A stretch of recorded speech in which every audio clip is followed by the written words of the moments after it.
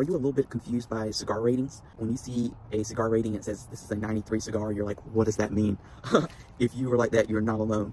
Uh, a little history on cigar rating. Those cigar ratings, uh, as we know it today, were based on the 90s. So when Cigar Aficionado magazine first came out, uh, the same people that started Cigar Aficionado were wine drinkers. They decided to create uh, a way to rate cigars and describe cigars that made them more relatable.